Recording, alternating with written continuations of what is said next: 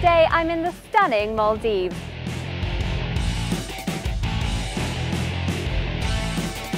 I'm staying in the South Ari Atoll at the Constance Moofushi. I'm going to be exploring this wonderful island and showing you how to get the most out of your holiday.